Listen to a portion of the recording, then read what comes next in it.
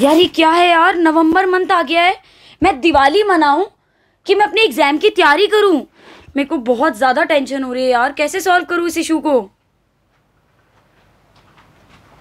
और बुढ़ू क्या हाल चाल चल रहे अच्छे नहीं है। बिल्कुल भी अच्छे नहीं है सर। कैसी चल रही है आपकी तैयारी मैथ्स की? बिल्कुल खराब। कुछ समझ ही नहीं आ रहा। क्या पढूं? कहाँ से पढूं? कितना टाइम लगाऊँ? नवंबर आ गया है। ओ तो कुछ ना कुछ सॉल्यूशन देना पड़ेगा। बिल्कुल, बिल्कुल। मतलब लास्ट 90 डेज़ सॉल्यूशन क्या आपको चाहिए ऐसा कुछ? बिल्कुल सर चलिए ठीक है जल्दी। लास्ट 90 डेज़ में आप लोगों के हाँ, 80 बाई 80 के लिए काम करते हैं ठीक है? चलो स्टूडियो बनाओ सेटअप करो फटाफट से। चलो ठीक है ठीक है।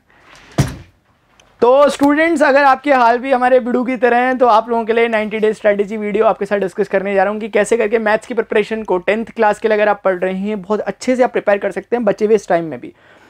आप डिमोटिवेट ना हो ये सोचकर कि यार अभी तक मैंने कुछ भी नहीं पढ़ा, क्योंकि मैं बता रहा हूँ कि अगर आप ज़ीरो लेवल से भी अब पढ़ना चालू करते हो सिलेबस इतना हाई फाई नहीं होता।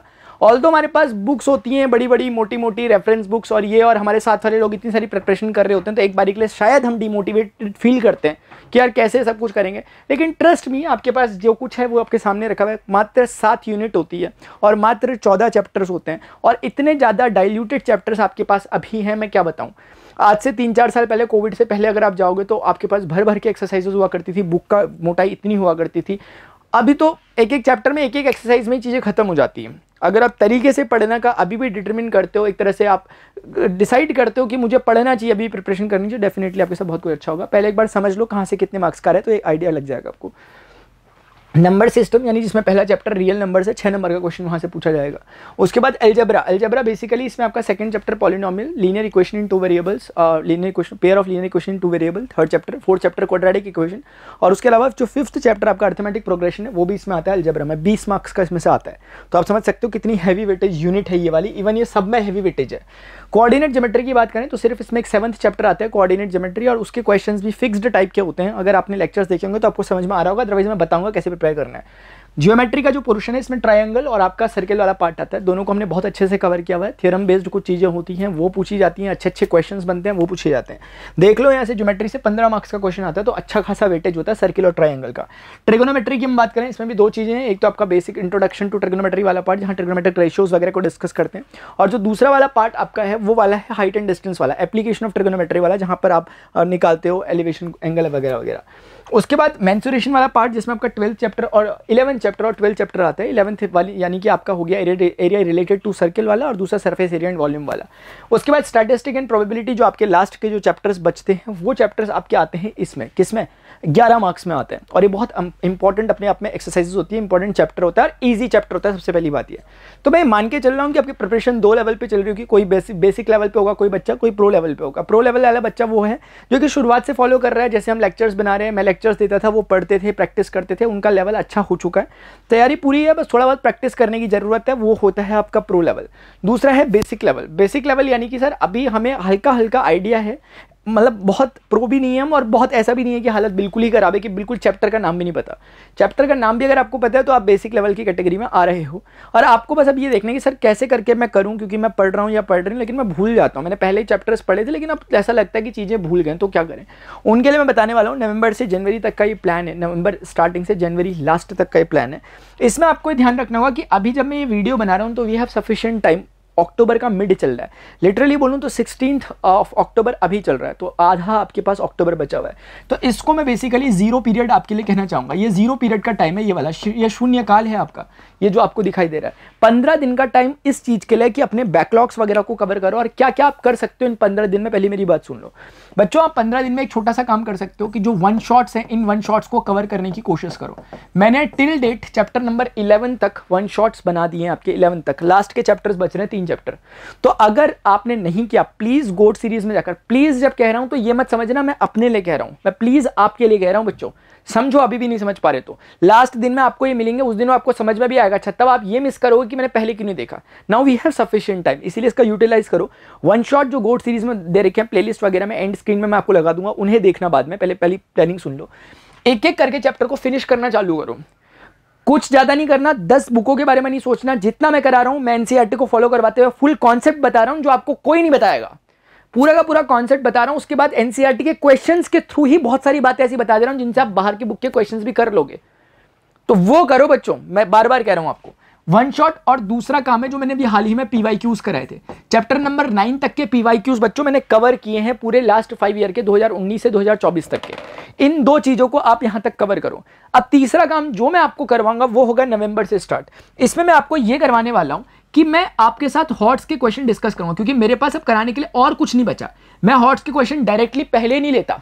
क्योंकि ज़रूरत नहीं है। लेकिन जिस बच्चे के ये दो लेवल्स पार हो चुके हैं, यानी कि उसने लेवल वन और लेवल टू पार कर दिया तो अब वो लेवल थ्री पे आ सकता है लेवल थ्री हॉट्स है इसीलिए आपको 15 डेज़ का टाइम मिल रखा है एक्स्ट्रा यहाँ पे। इस टाइम को आप चाहो तो 30 डेज़ बना सकते हो, दिन और रात एक करके।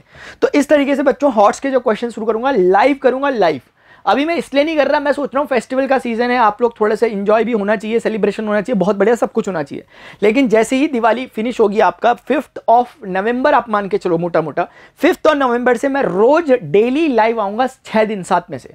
और हर दिन क्वेश्चन कराऊँगा, इतने क्वेश्चन कराऊँगा कि आपको रट जाएँगे क्वेश्चन आप ऐसे करके सिर्फ़ क्वेश्चन को देखकर बोल दोगे आंसर क्या होने वाला है? तो इस बात का ध्यान रखना, इसके लिए प्रिपेयर्ड रहो। अभी मैं यहाँ पर मतलब ये समझ रहा हूँ कि जैसे तूफ़ान से पहले का सन्नाटा होता है, वैसा कुछ हो रहा होगा। आप लोग बोल रहे हैं कि, सर लाइव क्यों नहीं आ रहे लाइव क्यों नहीं आ रहे? ये टाइम मैंने आप लोगों को दे रखा है, जितना कवर कर सकते हो, कर लो, मैं बार बार कह रहा हूँ। उसके बाद बच्चों, फिर टाइम नहीं रहेगा जब हॉट्स के क्वेश्चन में डायरेक्ट कूद जाऊँगा मैं। उसके बाद ये मेरा मेरा ये कंटिन्यू यही काम चलेगा। और आपके क्या काम चलेंगे? आपका एक चलेगा सर वन शॉट वाला काम, एक चलेगा आपका प्रीवियस ईयर क्वेश्चन वाला काम, एक काम आपका चलेगा हॉट्स क्वेश्चन ये आपका कंटिन्यू अगर आप इसको फॉलो करते हो, मैं मैथमेटिक्स की पूरी ज़िम्मेदारी लेता हूँ कि आपके फुल बाय फुल मार्क्स आएँगे हंड्रेड परसेंट आप खुद देखोगे कि 80 में से 75 नंबर का पेपर तो इन्हीं क्वेश्चंस में से आ जाएगा जो मैंने लिटरली कराए होंगे। बाकी पाँच मार्क्स का मैं छोड़ रहा हूँ इसलिए कि चलो वो अपना दिमाग लगा के आप कुछ कर दोगे, एक अननोन क्वेश्चन आ जाएगा। अदरवाइज़ 75 मार्क्स का पेपर आपका टोटली ऐसा आने वाला है, जो कि यहाँ से ही निकल के आएगा। अब मैं ज़्यादा कह नहीं सकता इस बारे में कुछ। मुझे ज़्यादा शौक नहीं कहने का। मैं इसलिए इतने दावे से कह पा रहा हूँ क्योंकि चॉइस ही नहीं है एग्जामिनर के पास। क्योंकि घर बैठ के क्वेश्चन नहीं बनाएँगे। वो जो कुछ पॉसिबिलिटी रख सकते हैं, वो सारी पॉसिबिलिटीज मैं यहाँ पर रख के रख दूँगा आपके सामने। अगर आप सिर्फ़ इन लेक्चर्स पर रिलाई कर रहे हो, आपको कुछ भी करने की ज़रूरत नहीं है मैथमेटिक्स के अलावा। इसे सब्सिडियरी पार्ट मत समझो मेरे लेक्चर्स को कि हमने ट्यूशन से पढ़ लिया स्कूल से पढ़ लिया, तब काम चलाने के लिए देख रहे हैं। अगर आप कहीं से नहीं पढ़ रहे तो भी आप यहाँ से पढ़ लो तो जो मैं गारंटी दे रहा हूँ वो हंड्रेड परसेंट कह रहा हूँ, लेकिन बच्चों प्लीज़ से फॉलो करो। जिन बच्चों ने ये काम कर रखा है, वो जानते हैं कि डेफिनेटली अगर सर बोल रहे हैं तो वो ये काम भी होगा, और अभी तक जिस तरह से उन्हें समझ में आया, उस तरीके से समझ में आएगा। मेरे एंड से इतना ही है। मैं ज़्यादा आपको स्ट्रेटेजी स्ट्रेटेजी नहीं दे सकता। मैं आपको ये नहीं बोल सकता कि भाई लास्ट के एक महीने में फोड़ दो, फाड़ दो, ये नहीं चल पाएगा बच्चों। प्रैक्टिस करनी पड़ेगी, पढ़ना पड़ेगा। Math is only the subject जिसमें आप लास्ट नाइट ओवर नाइट पढ़कर नहीं कुछ कर सकते। एक बारी के लिए बाकी सब्जेक्ट्स में आप क्वेश्चन आंसर याद कर सकते हो, लेकिन मैथ्स में ऐसा कुछ होने ही नहीं वाला। क्वेश्चन पेपर इस तरीके से डिज़ाइन होगा कि उसमें रटने वाले बच्चे सीधे सीधे बाहर हो जाएँगे। अगर आप चाहते हो कि आप तरीके से करो, और प्लीज़ ट्रस्ट मी ये मत सोचो कि सर मेरे से नहीं होता, मैं कैसे उन चक्करों में नहीं रहना। मैंने स्टार्ट स्क्रैच से इस तरीके से किया, मेहनत लगाई है मैंने अपनी। आप जब वीडियो लेक्चर देखोगे, तब आपको समझ में आएगा कैसे एक छोटी छोटी बात को मैंने वहाँ पर ज़िक्र किया हुआ, ताकि बच्चे को प्रॉब्लम ना हो। उन चीज़ों का बच्चों प्लीज़ फ़ायदा उठाओ। अब क्या कहूँ मैं इससे ज़्यादा आप लोगों से? उसका प्लीज़ प्लीज़ प्लीज़ फ़ायदा उठाओ वो हर टर्म्स में। चाहे फाइनेंशियल टर्म्स में हम बात करें फ्री ऑफ़ कॉस्ट है, और क्वालिटी वाइज वो लेक्चर्स बहुत बेहतरीन है। मुझे खुद कहना पड़ रहा है अपने मुँह से, अपने मियाँ मीठू मुझे बनना पड़ रहा है, लेकिन मैं इसके लिए आपको समझ में आया इसके लिए ये भी करने को तैयार हूँ। होपफुली आपको बातें समझ में आ गई होंगी। तो अभी के लिए इतना ही करते हैं, और आप प्लीज़ इन चीज़ों करो। अगर आपने इस चैलेंज को एक्सेप्ट किया है, जो मैंने आपको यहाँ पर दिया है लास्ट फिफ्टीन डेज़ में ये काम कवर करने वाला please do write hashtag challenge accepted in the chat section comment section में आप ज़रूर इस चीज़ को लिखें।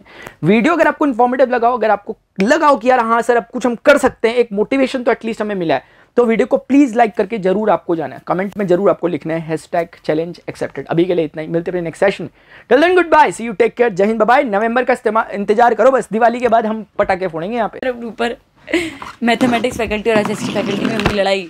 मैथमेटिक्स फैकल्टी ने पछाड़ा।